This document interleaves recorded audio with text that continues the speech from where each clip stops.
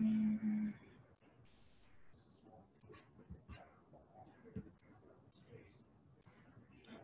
hi, everybody. How are you? Sorry, we're just getting everybody in here. Um, great. I see Holly. Thanks for your patience, everybody. We're going to get going in a couple of minutes, just waiting for more people to join. Holly, welcome. Thanks.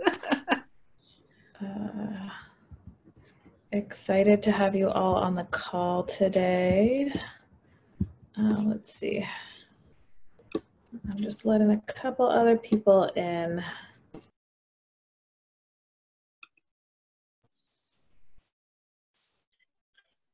Um, let's see.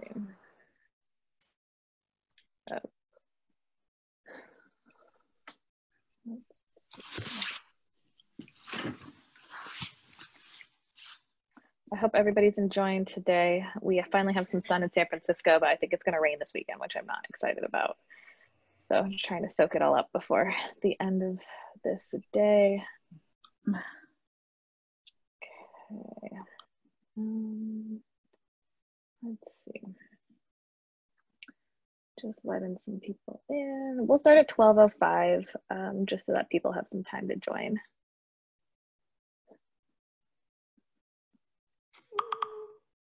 Hi, Dom. Hi. it's nice to see you. So good to see you. I know, everybody virtually. it's kind of interesting. We all see each other's homes now. Yep, we do. uh, let's see. Let me give people one more minute and then we'll get going. Mm.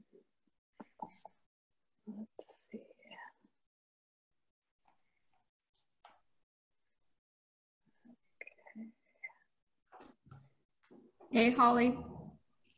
I don't know if you remember me. We did the YC event in Seattle. ah, yes. I did the How's Q and Seattle? How are you? Pretty good. How's Seattle? It is um, crazy. Um, lockdown, which is a good thing. Um, but Mhm. apparently, there's a glimmer of hope. Um, we're seeing some flattening. Oh, that's good. That's Yeah. good. Great. We will see that too in Um, California. I hope so. Okay, um, let's get going. I'll continue letting people in as they um, kind of uh, trickle on over to our virtual meeting. Um, but thank you again, everyone, for joining us. We're really excited. This is our first digital event with AllRaise, um, so it really means a lot that you all took the time to join. Uh, I'm Katie. I run our digital community here at AllRaise. Um, so this is just one of the ways we thought we could support you during these really uncertain times, um, and we're excited to welcome you. Um, we had a huge amount of demand for this event. I think it was like three times the number of people, but we really want this to be an intimate and uh, vulnerable event for people who just to get advice that they feel like they can take away and um, take action from. Um, so that being said, we are going to have Holly start off with um, just like some background on her, um, what she's learned, um, her story, and that sort of thing. I'm going to ask that everyone like keep their microphones muted, just because I know I have like random stuff happen in the background sometime with everyone working from home now. Um, and then once we um, get into the discussion part, um, people can unmute. Um, I'll be moderating conversation. If you have questions that happen or that come up during Holly's presentation, feel free to just drop them in the chat and I'll get them as well, um, or just share when we have um, when we end up uh, opening it up for discussion. Um, also, feel free to introduce yourself in the chat. Um, we'd love also because this was such an oversubscribed session, if you wanted to tweet out or share something after this event. Um, one takeaway that you got uh, that can maybe help other founders as well. Um, a few things on Zoom. I'm now becoming a super expert of Zoom. Um, so if you want, you can pin Holly's uh, video while she's talking. You just go to her square um, and then there's like a three dot menu and it says pin video. Um, and you can also, when we go into the discussion, you might want to uh, change your view to grid view, and that's over in the right top corner, and it makes everyone's video show up. Um, so those are some things that I just wanted to share. Um, anybody have any questions before we start? Nope. Okay. So let's turn it over to Holly. Thank you again for being here. We're really excited. No problem. Thank you so much for having me, everybody here. It's so interesting being on virtual. I hope everybody's keeping safe and healthy. Um, so I, I think um, I'll, I'll, give you the TLDR version, which is a little bit in the blurb of kind of where we were in my background. So my background was um, I usually say we st- I started a gaming company, but it didn't start out that way. It started out as a corporate social network, and we exited it as a mobile gaming company. We pivoted probably about three times. My role in the company has been probably almost everything from uh, my background's been design in terms of product design, and then I ended up leading people um, uh, when we exited. So pretty much, we saw the company grow from zero to 1,500 employees with six offices in, around the world. Uh, we started in 2006, and we were not um, immune to 2008 by the time 2008 happened in the financial crisis, we had built um, uh, community apps for TV shows and sports teams on Facebook. And that grew so quickly. It was, the numbers were just like the pandemic, man. We were at a million users for probably within like two weeks. Um, Facebook itself was just kind of a crazy time. Uh, and that's when like Zynga came out and RockYou came out and all of that. And then in 2008, um, in October, everything came from to pretty much a screeching halt. Um, I remember this is probably our like most like acute moments, uh, but it, we had our Series B term sheet signed. All they needed to do was wire the money, and the day they were supposed to wire the money was the same day that Lehman Brothers and Bear Stearns like basically collapsed, crashed to a dollar. Um, Sequoia sent out everything, uh, or sent out that memo, RIP Good Times, and it was literally I was on um, it, it was in downtown Mountain View, is Castro Street, and there was a lot of startups that were happening there, and was pretty much decimated. Things were just decimated overnight because our community apps were ad supported. Uh, we saw basically three million dollar contracts disappear overnight. Um, our business was screwed, to say the least. And so I think for us, uh, it took us about an extra 12 months. I was just looking at this uh, it took us an extra whole year uh, to close our Series B after that. And it was probably one of the worst fundraising times we could have ever gone through. Um, so uh, basically, from that, we kind of looked at ourselves. This, this was the path we chose, and there's a lot of different types of paths, and I'm more than happy to talk about it some more. But it was pretty clear we couldn't build a profitable business being ad supported. And for us, we pretty much got ourselves into a room and we're like, we could shut down or we could decide to pivot. And we wanted to stay in business. We said, ah, we don't, we, we wanted to do this thing together. Um, and for us, we looked at like, I, I think like, since it was our third pivot, um, I think we looked at like kind of very similar things in terms of like markets, like what was it that something people wanted, like how do we get to profitability quickly? Um, what were some of the things that um, we had core competencies in. So when looking at the markets, we're like, wow, there's this little company named Zynga that was just killing it on Facebook. They ushered in Farmville, they ushered in all these other things. And we looked at them and we're like, hey, you know what? We know how to build Facebook apps. We've been on it since the beginning.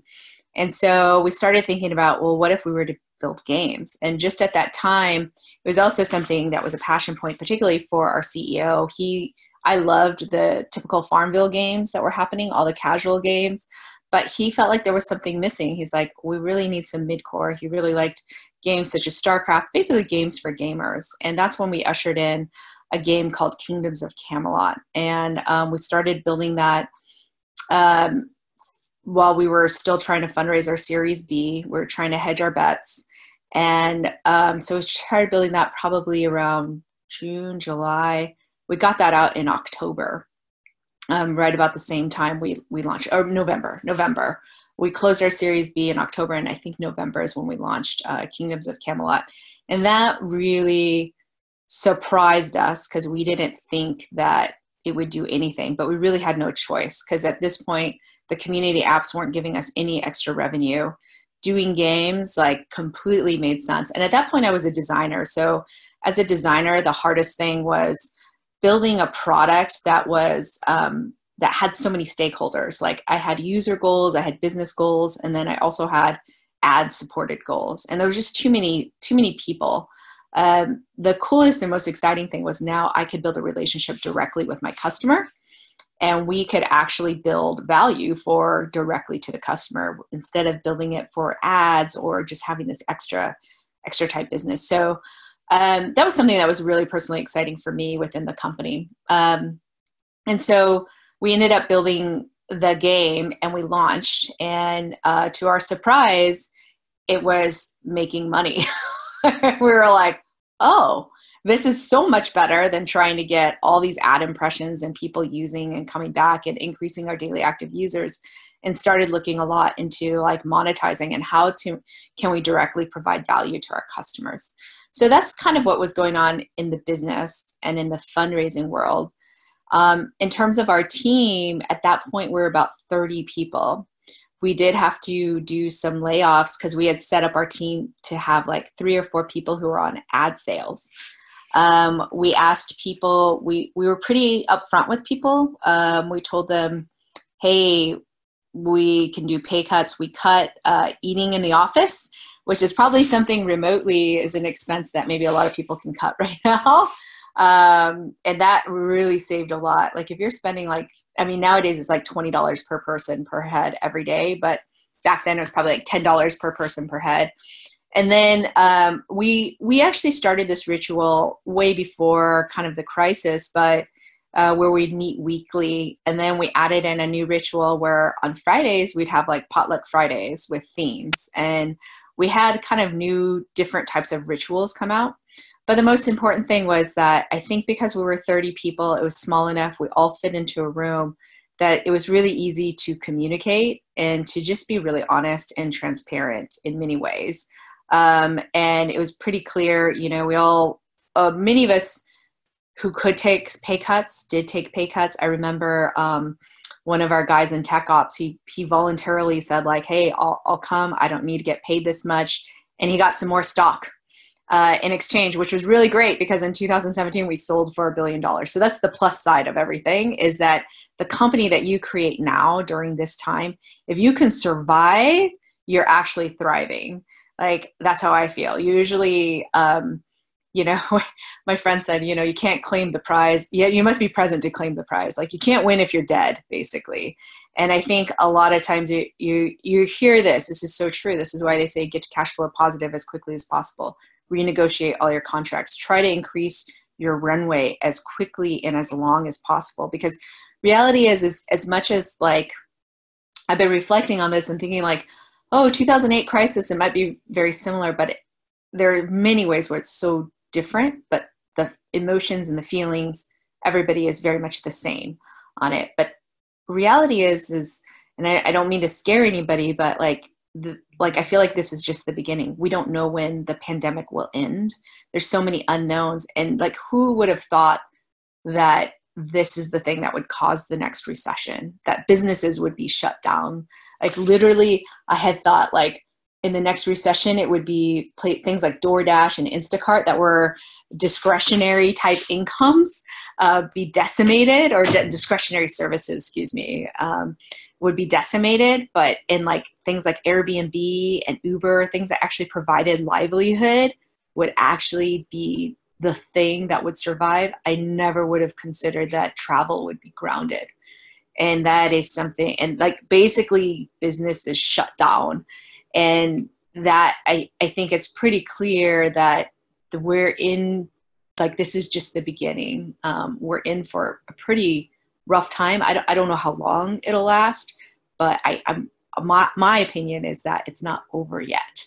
Um, and it's, it's pretty clear because we're all still sheltered in place, um, mainly waiting to see how much infecting happened and if, if we can, we can kind of survive. So, um, but the good news, the good news out of all of this is, like I said, if you can use this time to just to build a profitable business, that is amazing. And then when the markets and when i say markets there are two markets that's that's happening your fundraising market from investors and your market from your customers. If you just focus on your customers and get profitable like by the time the recovery happens you're going to be in like such a great such a great shape to be able to go and kind of get to whatever exit or outcome that you're looking for. I I I really liken fundraising a lot to like surfing, where um, you know if you like to surf, you need waves to to be surfing, and you can't create the waves; they have to be happening, right? So those are kind of like the markets,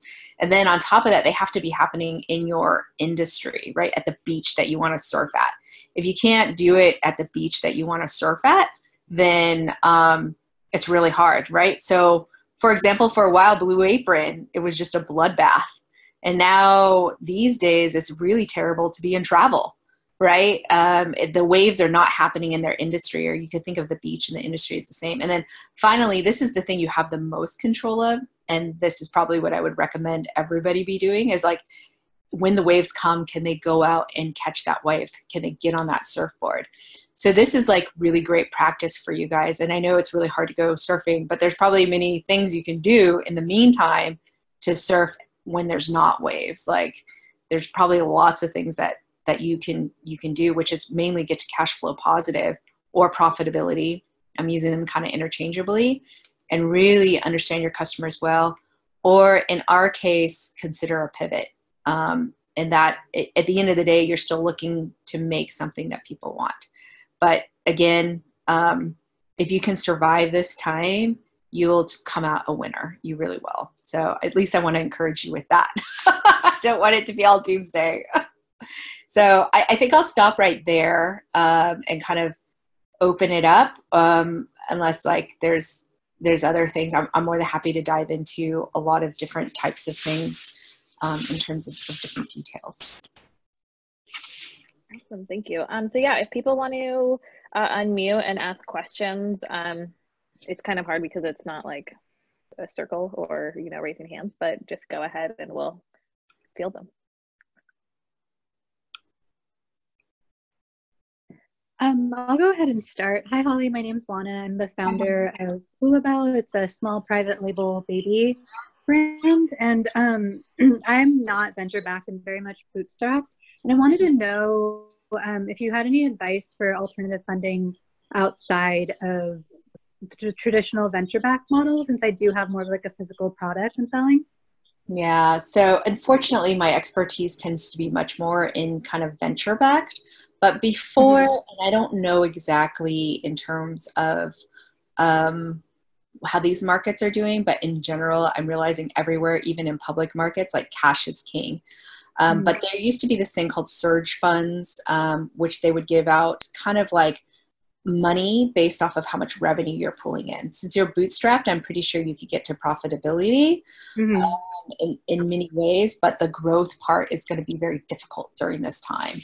Yeah. Um, and so this is where the advice of getting to cash flow positive and getting to profitability really speaks a bit more to the VC backed startups because they sacrifice profitability for growth.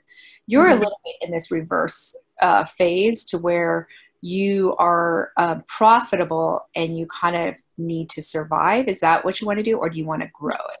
Yeah, I'm. I mean, I've been profitable for a while now, but um, it's. I mean, obviously, things have slowed down. I went from having like my highest sales month ever to like a complete halt um, yeah. because of like warehouse and global supply chain. Um, yeah. So I just wanted to see if like, but I think that that that is true since it is venture backed. It isn't venture backed. The profitability um, and scaling has kind of been in reverse. Um, so I guess my path forward is just to keep my head down and like um, hope I can qualify some for some of these small business loans. Yeah, the the other thing you you should definitely consider, and I would also say this for like tech backed startups as well, is like try to renegotiate any kind of contracts you have to get money up front. And I know everybody's doing this right now, but it's like, hey, you know, there's there's ways in which that maybe there's some creative ways where you can deal make right now to where um, you can get cash up front. Mm-hmm that's what I've been seeing a lot of kind of entrepreneurs do. You also might qualify for the SBA loan more so than some of the tech startups. And I'm not a, I'm not an expert in the stimulus bill right now, um, but you might be in that really great uh, kind of sweet spot, if you will. Um, I think is is it that your supply the demand has gone down as well as the supply chain is all locked up? Um, yeah, because right now, a majority of my sales is, coming from Amazon. Um, and th- like people are buying my product, but it's not shipping for like a month. So Yeah. I went from having like like 30 orders a day to like one, and it really just killed my cash flow. So I'm just Yeah. trying to figure out ways to mitigate. Yeah. Is there any way to like change it from? I, I don't know what it's like to sell on Amazon and if you get any access to customers, but if if you don't like, is there other ways of like putting it on Shopify and do D2C and email them and you handle the fulfillment? I think um, I do have a Shopify site, and I have been having more sales on it because of the slowdown with Amazon and just having them fulfill it from the back end. Run it through. I mean, the maybe you could run it through US. I think there's one carrier that Amazon doesn't use, and maybe run it through them. Yeah. like, crazy demand. And the the other thing you might want to consider is like um, a local a local push, letting Mhm. people locally know, and then you can handle delivery a little bit easier if you're in a position to do local delivery. Might That's be a good, good idea. yeah, that one might be kind of interesting. I think there's a lot of interesting. If you're considering a pivot, I think there's a lot of interesting things that will sprout in terms of local delivery. Yeah, it seems like not it. door, and then you could get it fulfilled because there's probably babies around you. There are a lot of babies around me. Okay. My supplier was joking that I'll have like a huge boom in about nine months. Yes. you could probably. I mean, you could get creative too. You can like, if you do have inventory, you could sell that inventory for a discount if they will pay you cash up front and say like, in nine Yeah. like here's here's what we'll do we'll give you a welcome baby package no contact delivery straight to your door or something like Yeah. that It's a really good idea. yeah Cool. Well, thank you. yeah no problem Um, I see Tessa has her hand up. Uh, can you guys hear me? hey tessa Hey, Holly, thank you for sharing your story. Um, I wanted to dig in on one of the things that you said, which is that you had uh, you were just about to close your B when the markets crashed, and then you Yes. said it took another year to actually close it. Yeah. Um, I'm guessing that you had to do some significant action in that year to keep yourselves afloat yeah because it was a lot longer than you probably planned for. Can you talk a little bit about that? Did you have to do resource actions? yeah so basically uh the the team the sales team of four or five we pretty much had to lay them off um or like they ended up taking huge pay cuts and we tried to retool them to build games but they're like no we're we're in this on this other side.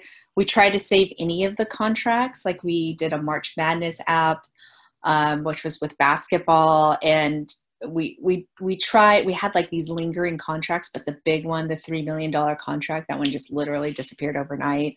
Um, so we we basically retooled our business into trying to retool was basically we are trying to do like several things at once. It's kind of funny because i was just looking at like our grid from co- like company history. It's like oh we did that app too? Like we were trying like some different things.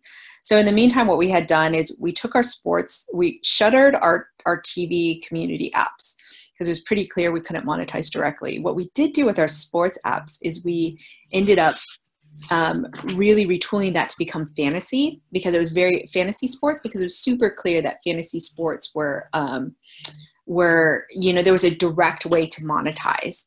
And um, the thing is is like the only problem with sports and seasonal contact is like our our content is that it's seasonal. So you don't really know um, what kind of will end up happening like when it's august or like we're like we think live scoring will pay. And then actually our luck was like totally sealed too. We were going to charge for live scoring in fantasy football. So there's if you're not familiar with fantasy football that was a very direct way to monetize from the people who signed up is you could pay like 9.99 a month to get like scoring earlier. So then you can change your strategy very quickly. And yahoo one of the largest fantasy sports people decided to offer it for free. And we're like oh, who's going to pay for it now especially on Facebook. We're all doing everything on Facebook, and we all knew at that time like these are college students who were like kind of poor. Um, so we were having several things in flight for sure. Um, and um, I think our bigger bet just happened to be uh, the game that we started, and it wasn't that exciting of a game, but it was definitely something that had a little bit more more than just like a click farm um, that Farmville ad. It, it, was a bit deeper. So uh, we had to change the ad supported business, like anybody that supported it, we had to, to basically lay them off. We tried to do salary, volunteer, volunteer salary cuts. Um, and then we uh, no more kind of like these extra perks, which was uh, food coming in um, every day. Uh, we cut that. That that is actually quite inexpensive cost. And then the frustration part of everything was um, eventually, as we got bigger, we brought the food back, but there was just like like the exec team would always constantly complain about all the entitlement that had happened from that. We blame Google though. We're like, how can we compete with Google? They give massages, they give all these things. I'm like, back in my day, you had to bring your lunch. Um, so that that those were kind of the cuts we had to make. Uh, I don't know if that answered your question more, uh, but it was really on salary. Salary is going to be probably your largest burn, really, um, and then so that's and then the ones that just didn't fit, and then the perks is is something like all those expenses you can you can kind of sort out. Yep.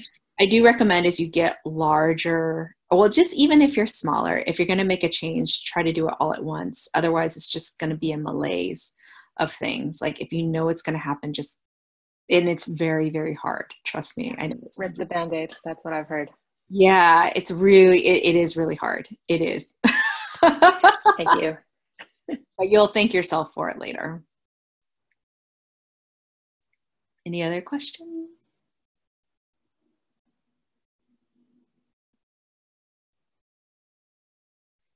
If not, I had some submitted questions we can go through.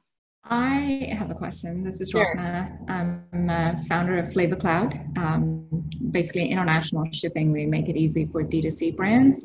Um, and so my uh, so it's been an interesting time for us.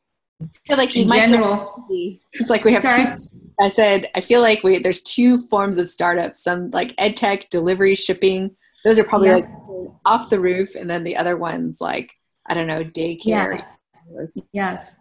Um, and actually, it's a very interesting time for us. So business is uh, pretty much, I'd say, it's unpredictable because it's a spiky, but uh, we're on track. Um, and so the interesting thing that has happened, thanks to FBA, I know I had a question. Um, my suggestion was going to be use Shopify Fulfillment Network because they're getting an influx of everybody in F- FBA that's not being serviced is now going to Shopify Fulfillment Network. And yeah. so we're actually seeing influx of sales. So we're doing all kinds of things. Um, interestingly, on the other other side, we're seeing this. Um, growth.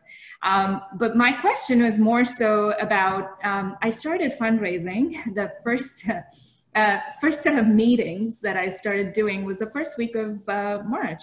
Um, so the first two weeks were really interesting. Like things were going fabulously well, and um, then uh, you know for the last um, 13, 14 days, it's been a little crazy. Um, I had terms yanked, and also I'm in like much later stages of partner meetings yeah. um, with various folks, and things have dragged on a little longer. Um, it's an interesting time. So I Are know. You um, Series A right now. What what stage? So we're raising a five million. Some say it's a C. Some say it's a A. So it's basically a five. I'm calling it a five. Um, and so it's a little, um, a little unfortunate right now. You will see a lot more delays. Yeah. You'll see people either yank and i know there's a lot of people out there like don't yank don't yank but it happens um, and it's hard because i'm like yeah i see both sides. I think mm-hmm. like the you know if they've uh, you know like our investors they were just they were scared and they like totally screwed us over and we're so mad at them for the longest time. On the flip side i was like we would have been stuck with like a dwindling ad supported business too like that's the main reason why they would support us anyways long story short, um, I I think that um, the best way you can probably create urgency either, either way you're going to create some urgency. The best way you can do it is if you get two people to the table still mm-hmm. and just kind of force like force each other's hand of like I'm closing, and that's even in good times. That's the mm-hmm. best kind of like force people to move on your time frame. Yeah.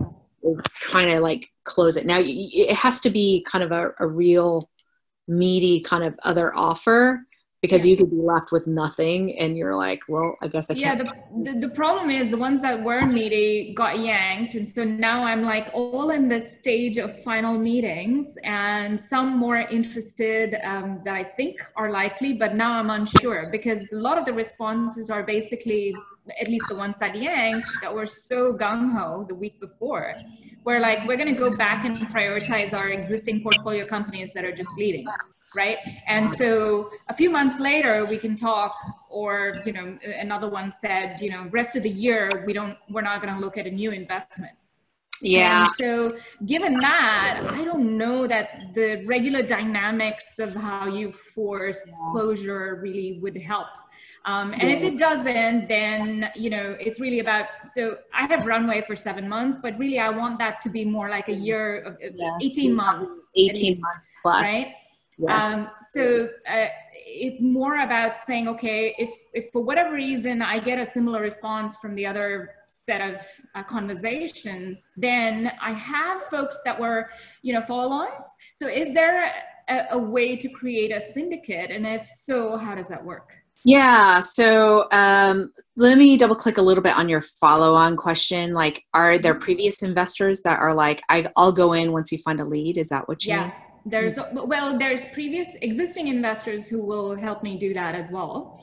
Uh, I've kind of told everybody else that said they want to participate in a round but not leading. I set them aside and I said I'm only focusing on leads at least Yeah. the initial weeks. And now I'm thinking, what should I do? Yeah. So it, it, it is a little rough. Um, it, for you, you've been at it for like two or three weeks. It's still a pretty short Three time. weeks. Yeah. like three to six months. Uh, but so, so yeah, you, Yeah. usually like I was hoping to get this done like it- actually in four weeks, but really at least a commitment. Yeah, you're you're in a really funny spot because you're not quite serious. We usually say three to six months for like a Series A. Okay. Um, you know, I will say because I've I've been close to YC. Um, you know, we we always say this is your like after that. So for some startups, absolutely right after the week of demo day, they're closing left and right. And the second week, as a partner, we're always like, don't give up, don't give up it usually took them like about three months you know like on average and that this is good times so we're always like so Yeah. there's a part of me where i'm like oh maybe through because you're also seed in some ways Mhm. um, that means there's more investors out there so i will say that there's a, cou- a couple of things so i'll caveat some some of the things like i was talking to a friend of mine. They run a they're mainly a series a but they do have seed. Mhm. um, and she was saying that she's still making investments but she also there i've heard uh, she she's like but when it's the right time. So they'll do do it very slowly. And they've always done this kind of slow in general. Yeah. i've also heard from other founders like yourself many of them have been like we need to put this to our current portfolio companies because we're kind of stuck with them in some ways and we need to make sure they're successful. Three weeks does feel a little bit short so like there's a part of me is like oh don't give up you know Okay. keep on going. Um, so i want to like encourage you with that particularly because i think you have more to choose from um, in this and like you should leverage your existing investors as much as possible on this one. Okay. one thing you might want to consider is if you're not doing a term sheet you could Mhm. consider like a convertible like using either raising on a safe or a convertible note one of the two versus like but I, I wouldn't make that decision exactly right now Mhm. um but i think Well, it's- people say you got to close now so that you have runway, and then and that's kind of yeah, yeah, yeah. if you with. can uh, close now that would be great yeah, yeah, right like it's almost like you should use the bank robber strategy take the money Mm-hmm. take the money i mean you should definitely talk to them but like if Yeah. they're like decent and good like this Mhm. is where everything kind of switches to like if you can catch a wave catch it because there's not a lot of waves out there right? Um but three weeks also feels a little bit like even in good times would if if you were my yc founder i'd be like wow don't give up. Like it's only three weeks um and leverage your existing one. And now syndicate you can absolutely do a syndicate if you want to um but i would probably see how these kind of like shake out in some ways um and kind of see it's just know that it's going to be tough. That's the thing it's just tough. Um, but three and you can definitely leverage if your business is growing a lot you should totally be like sending this out there and just like hey, reminder airbnb was built during this kind of time. Like this is exactly you know what i mean? Like these are the exact companies like ed tech companies will find like delivery companies anything that you can kind of show that this isn't just an anomaly in terms of a spike. Like i know the delivery companies are going to be spiking and this mm-hmm. is going to be great for business but this is the plan in the future of so many ways. So I, the, I think it's just it will be delayed and it will be slower. And it sounds like you kind of you can't afford to give up. Yeah. so yeah. i'm gonna be like you're gonna have to continue. Yes. Yeah sorry Thank to hear you. about that heidi? um, heidi did you have a question? Move oh. on to the next questions that we have so we can try to get to everyone. Sure. Yeah heidi did you have a question? I saw you clicking something. Oh no Anybody else? Holly, I know that I also sent you some questions too. Yeah, so I submitted in advance. Yeah, I can start going through theirs that those unless other people and then if other people just want to raise their hand on kind of what if they had other questions. Yeah. Oh, Heidi. You have I to unmute. You're muted, Heidi. Okay, I can help you. Yeah, we can't hear you. Can you guys hear me now? Yeah. Yeah. Okay. Um, sorry, I dialed in, so I thought it was the other one. Um, but so our, you know, customer base has been enterprise, and so our, you know, time scales for getting in. We work in auto; it's a long time anyway. Um, we were about nine months into like, you know, a, a 12 to 18 month sales cycle. Uh, I've kind of seen that be, you know, like I don't see that as a good pathway forward. It's not going to be indicative of all of uh, being able to survive. So I'm wondering how do companies, like if, if we do enterprise sales, how do we look for new markets with shorter time horizons, being that we are like a, you know, essentially uh, not deep tech, but like core tech company? Like, how do you Is navigate there, that side? So here's a strange question. Could you kind of um, not sell to enterprise? Can your business be sold to uh, because in by the nature of enterprise they just behave very slow. They move very slow. So you have that like molasses on top of that. If you can get to kind of organizations that move a little faster can your tech move more towards like medium businesses um, getting them more revenue very quickly or smaller businesses that are on the brink of something and it's like hey this is this will get you more revenue um, I've been trying for that, but so just as background, we work in you know robotics and autonomy, and so that's there's not many companies of that. Got it. Um, you, you know, you mind just tell me briefly? That size. Does uh, so we basically we work on uh, providing QA for AI, so through simulation. So we started on autonomous vehicles and basically work within that. We sell to insurers as kind of the long tail of the business model. Um, that's a hard market anyway to be able to work with insurance companies. They're slow moving. So um, I'm looking right now at you know what are our options, different ways to pivot, um, kind of coming up to the front of the development stack um, working on more image recognition um, QA as opposed to simulation as a potential. This way we can expand out our market segments wider. Yeah, I mean, that's probably what I would consider is like basically you're creating QA for some, like you're in the synthetic data world and you're testing their AIs. Autonomous vehicles are already so far out that it's already hard and um, difficult to um, to kind of sell to. Some of the things you might want to consider then is changing your markets altogether and not go into automotive and not go into autonomous vehicles, and instead look for things where uh, where they're already using kind of or maybe they can replace like some some of the things that's been kind of interesting that i've seen like in the past i've always felt like oh these things it's just going to like detect deep fakes and what kind of business is there. But there are ones that i've been seeing that's been kind of interesting where uh, they'll take either image recognition and they'll um, be able to help on fitness in your form. And they'll train the ai and they'll do qa on it I don't know how quickly that will sell, but it might sell even more in this world because everything has to be remote, right? So, like, you have these fitness teachers who are now like doing this from home, but like, there's no feedback on the, the great thing about a class is they can see my form and they can like give me feedback. And maybe they can via Zoom, but it's not really quite there. I know you're thinking like three different levels down. So it's like you probably have to play the game at different levels of like, can you bring some type of value all the way up into an industry where it's hurting? And in some ways, you you might uh, given how everything's remote now, you might be able to do some really fun and interesting stuff that because now everybody's online and it's really hard to do certain things offline, you you have this thing to be able to mimic either mimic and QA it or literally mimic it and create like feedback on the fly of like my form is off or um, there's another company that's creating like synthetic images for models right? So the person doesn't have to be there. I don't know how booming that industry is but it's just like trying to break different ways of like because I, I feel like I've I've heard and seen a lot of these companies do what you're doing and it's always for autonomous vehicles which is like so far out there. And this is the first time I've been hearing companies doing something that's like literally hey this is like a burning question right now or a burning problem.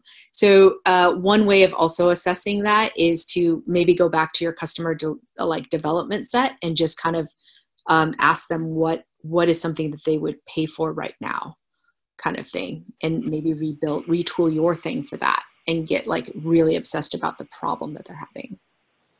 Yeah so i think uh, we make developer tools for them but the problem is it's just the procurement process and the sales cycle is too long for the big companies. So that's like you know but i can go back to the developers and like work on those things but smaller ones so um, but one of my follow-up questions on that is you mentioned that like focusing on kind of the needs of users right now since we are in this like lockdown period and everything's remote and virtual. And one of my hesitations there, and I'd love to get your opinion on, is like by focusing on this current market, like what if it flips tomorrow? And they come out like, you know, either a vaccine or, you know, politically they're like, we're all gonna go to work anyway, you know, like so I'm I'm trying to like wrap my head around like okay well how how much do i take the current market as the future I market? I see. Yeah so this is something that i it, it's it's going to be hard to predict like some of the changes like it'll fundamentally um, do and sometimes i feel like yeah i feel like the most accessible kind of business to build right now is a delivery company but like at the end of the day how how sustainable will it be? I don't know. Um, and there's a part of me where if it's too easy to build, then it won't last very long. It feels like what you're doing is that it's it's um, it's okay that it's highly needed. Even even in edtech, I think ultimately a lot of the remote stuff will be here to stay. This is this is the bet that you're going to have to spend some time thinking about. Like is remote going to be here to stay? If so to what extent? I have certain beliefs about like startups will be done remotely. It was already happening. It, this was just this extra push. And like me as a business owner i'm like if i don't have to like not that i don't want my employees to be happy but like if i could save money on rent if i could save money on like food and I could dump that back into the business, absolutely. I mean, there's different ways I would give perks. Um, but like, could that be plausible? Absolutely. Is there ways I could build community? Absolutely. Maybe, maybe. um, so I think, I think when you're thinking about like, is this just a flash in the pan problem? Like I'm surgical masks, um, water, all those types of things. I think you might need to dig a little deeper and say like, what what kind of human need am i fulfilling here? And i know that sounds a little philosophical but you might you might just have to play that out as a thought exercise and then make your decisions based off of that. Because after all they're all hypotheses unfortunately. I, I, wish i could predict the future. If i did there'd be so many things i would tell you. It's hard Holly, I wanted to ask. Um, I know we got a couple of questions about team morale um, on uh, the submitted questions. Can you talk to that a little bit? Um, and then maybe take, if you also, if you all have questions, feel free to drop them in the chat too. Um, I'm mm-hmm. monitoring those as well. Okay, um, I'll speak briefly to team morale and then I see one around Tessa. Tessa's question around fundraising. Um, so the nice thing is my team was already, our team was really small already. It was 30 people. Um, so a couple things that I think is important for team morale is first, like being kind of honest. You don't have to show like all the financials. In fact, like somebody had asked like how much money was in the bank and I, I couldn't even remember, but we knew it was a, a situation where, oh my gosh, it's it's dire. We all need to tighten our belt. And it was pretty clear we lasted 12 months. So um, it was certainly um, some foresight, particularly from the CEO, to be like, "Hey, this is this is the time." It was it was certainly foresight in May. So um, in May, when the product was doing well, uh, we're like, hey, the fundraising market looks good, let's go fundraise. And that was a bit prescient um, to kind of just start going that. It was just poor timing on like when it was closing, but it was absolutely great timing to go out and try to get some money because uh, our product was well and the market was doing well. Uh, when it came to like team morale, some of the things that's been kind of nice, and you probably see this a little bit with the family that you're quarantined with or the people that you're quarantined with. There's a little bit of some foxhole camaraderie. And some of those things are like one is having honest and open communication about like the state of things, right? And kind of like, if you don't know you don't know at the same time you have to be you have to have some type of strategy in place for sure you can't be like, oh, this will magically disappear. Don't worry, just hang in there, right? Like you can't have like too much positive toxicity. It's what I call it. Too much positivity. Like you have to be kind of honest, but you don't have to be um, also like this is a doomsday scenario. And that's where your plan comes in, right? If your plan is a doomsday scenario, then rip the band aid off and do the layoffs and do all the hard decisions. But you should absolutely be honest with um, what this looks like. Um, when we I think when it was probably pretty clear that the ad supported businesses were, were, or the ad supported people were going to get hit because it wasn't quite clear. We were trying to keep everybody. In general, we were just trying to keep everyone. Some of them ended up quitting because they're like, it's going into games. Like we're we're not we're not going in that direction. Um, some of them we probably did cut. Maybe like one we had that conversation with. Um, and at 30 people, it, it, was so much smaller. The second thing I would recommend is considering time for like rituals. So it's it's a little bit of a different time right now. Um, but back then we could have face to face stuff. So on Fridays we'd have potluck, and then in the afternoons um, we really liked board games. So, and for some reason, our team had an obsession with the chicken nuggets from McDonald's. So, like, people would make a run to the chicken nuggets. And then for like two, probably two Christmases in a row, we literally had an in office party. Like it was just, it, it wasn't anything fancy at all. And before that, our fanciest stuff was going out to Dave and Buster's, going to do all these other things. And then it just became over the top. Like, more than happy to talk about it when it gets like bigger and the times are still good. Like you still have to be really careful on managing your burn. Um, so in terms of team morale like absolutely what we did was if you were to cut your pay we gave you options. So now cash is king so you can certainly reward people with stock options and people that stay with you because if you think about stock it's high like who would have thought like it would have been so highly valuable right? Um so you can absolutely do kind of a trade. That's what we did um, with a lot of people who decided to take, with the ones who decided to take a pay cut. We said, here's here's some make good um, if we could. So so things are kind of flipping. Things flip into the favor of the investor. Things are flipping in favor of options versus cash because you, you want to conserve your cash as much as possible. I mean that that's that's that's the hardest thing um, right now. And then I, I we haven't talked too much about debt. We did have a line of credit. I don't think we hit it. I don't think we dug into it. We might have. We might have, but those those things that you've created on the, the line of credit, those are like the fail safe type things. Getting credit right now is is is a little tough, I would say. Um, everybody's in a credit. Like that's that's if you can get the credit now go ahead and just be very wary of like what the payment terms are and everything because those are the first ones to get their money back at like a steep price right? Um, the best thing to do is get profitable and kind of build the business but that's always very very difficult. Um, but yeah so in terms of the the team morale communication creating new rituals oh i read about this one ritual by the shippo founder i thought it was kind of cool is they created a channel in Slack called Food, and everybody reports at lunch what they ate in a picture. like it could be something as little as that where it's some type of digital thing or it could be something as little as like um, you know, it was so funny. Me and just one other, me and this other engineer, it was really cute. She always loved stickers and she would write every task on an index card and give herself a sticker. That wasn't like a crisis type ritual, but like there could be things that kind of show up out of this and you could get like super creative. It could be like a, I've seen people do like um, some lip syncing on, um, like, I don't know, some type of like maybe it's karaoke Fridays and everybody gets in and they sing together. Something that's going to be different and unique to you guys and the team will enjoy. Like it should be something the team enjoys otherwise this is kind of pure judgery but it like any type of touch points that kind of show you're in this together right? I mean definitely none of the founders were taking pay increases. We were all hunkering down. Yeah so i hope that answered some of those questions. There is a question from tessa. Should i just pick up that one? Um, so Tessa had asked, I know you don't have a crystal ball, but in your estimation, when do I think VC fundraising ecosystem will return to quote unquote normal? So I don't know what you mean by normal. If normal is like crazy times, like in like right before the pandemic, it'll take 11 years, right, to get back to the the crazy times.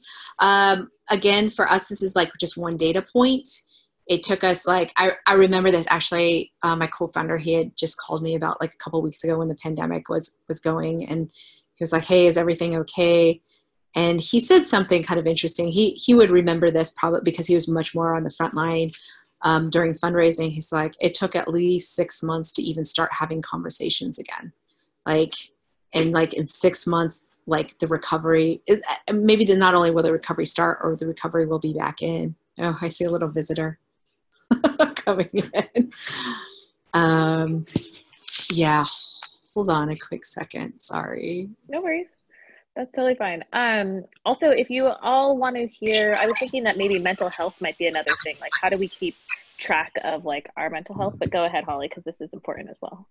Oh yeah, yeah, yeah. So, oh, sorry to normal, and then it took us uh, 12, 12 months to close our Series B, and that was still incredibly lucky because it was from a a betting it's called betfair from the uk and for this one it's very unclear because everything's just shut down. So it's like how and then how do we come back online? And are things things will probably happen in stages i would imagine. I don't know. So um, i know Garry from initialized is encouraging people to get at least 18 months of like cushion. And that's not bad advice. I'm like 18 months plus if anything. At least we survived for for a whole year um, so that that was something. Um, that, so 18 months. I, I will I will throw this out here, and it's not to just scare anybody, but I feel like if your business is just kind of decimated and it's very unclear how it will come back, like if you're in the wedding industry and it's like required that you must be present or events, um, I'd really consider a pivot. I know I shouldn't be speaking pivots out there, but I would really okay. Dom's like putting her like I don't know if it'll bounce back in six months, and if it does bounce back, will the demand be there? Like that's something you really have to think about. Um, and like your question, um, Tessa, where it's like to get it to normal of what it is now, it took 11 years. That's how long it took, and that's just it's just crazy times, crazy times, right? We were all waiting for the other shoe to drop. Who would have thought it would have been a pandemic? Well the scientists did. And then um, very quickly on mental health this is something that i i'm super grateful for in that um, in the last two or three years i feel like tech has started talking about this. And um, i think it's something that's always been important. And i've noticed just speaking from personal experience it's it's kind of there still. You don't leave like and it's just an extra layer of anxiety and dread. So if you already struggle with anxiety which i do like this extra like form of stress just kind of adds to it. Um, some of the things that i i'm a huge fan of and like returning to is is is do do your mental health practices. Like one, one of the things for me that um, i've picked up dropped picked up and i'm so grateful that i did during the time of the crisis was I journal a lot of my prayers. Um, so I grew up in the church, so that's something that's very important to me. Um, but journaling in general, I've, I've realized like, wow, like just the other day, embarrassingly, something happened and I got super smoked and it had nothing to do with the pandemic, but it just feels like every emotion that I'm personally feeling right now is just 10x um, at the same time. And during the financial crisis, it was definitely like 10x. Like I went back to my journals and I was like, oh my God, I remember this. I remember like just quitting and moving to China and taking care of panda bears, maybe, or um, just like everything feels like 10x. And if you can, if you could keep some of your mental health like practices um, and your wellness practices during this time and like kind of cling on to them, like you'll be so grateful in the end. Like I clung on to journaling um, and, and kind of doing the, those things. And then there's a lot of great types of like tips to help keep you grounded in the moments of feeling anxiety. Like, I don't know if any of you do any type of breath work or just, you know, taking like a few, three deep breaths and then recognizing the emotions that you're feeling without any judgment and i think this is this is where women have been judged for centuries. So we're so used to being judged that we even judge ourselves like oh i shouldn't be angry. I shouldn't be anxious. Like just snap out of it and come out with a plan. But like allow those feelings like to kind of um, to and to label them and to not judge them right? Um, i think that's one thing. And one of the tips i've been practicing on is instead of saying like i am angry like i say something inside of me is feeling angry so you can kind of distance yourself a little bit and not judge it right? And then you can start thinking very clearly right? Because um, that, that's the biggest problem Like, it's like your emotions are there to to be felt and it's probably trying to tell you something right? And your thoughts are there to be managed and your actions to control. That's the only thing you can control if you're even lucky is your actions right? Um, so uh, kind of allow those things to be um, what they should be um, so I absolutely take mental health breaks. Like I'm a huge fan of those, and they might look different. Like um, one of the things I've realized is like um, I do some hand washing rituals now. I don't sing happy birthday or anything, but like one of the rituals I end up doing that I really enjoy is called savoring. And you just feel like enjoy the rubbing of the two hands together under warm water or thinking about some gratitude for like when I'm doing my thumbs of some sorts. And like these are the things I could be grateful for. Like, what a great time to be quarantined with the internet working, you know? Like, oh my gosh, this is great, right? Yeah. Um, so and it's, it's we're all in this together too like there there is that. So yeah. hopefully that was pretty helpful and it looks like we're a little bit out of time but i don't know if yeah. anybody had any more burning questions that i might be able to answer in a rapid fire way. If not Oh, yeah, I think ending on gratitude is like wonderful. Um, so thank you, Holly. Thank you, everyone, for coming as well. Uh, we really appreciate it and hope the session was helpful. Um, but thank you, Holly, for being fabulous and very vulnerable. Absolutely. And um, feel free if you guys um, want to reach out to me. I'm just Holly, H O L L Y, at foundermusings.com. Um, and so just just feel free. I'm more than happy to to try to connect with you guys offline if you think it'll be helpful. Thank you, everyone. Have a good rest of your Friday. Thank Thanks. you. Bye.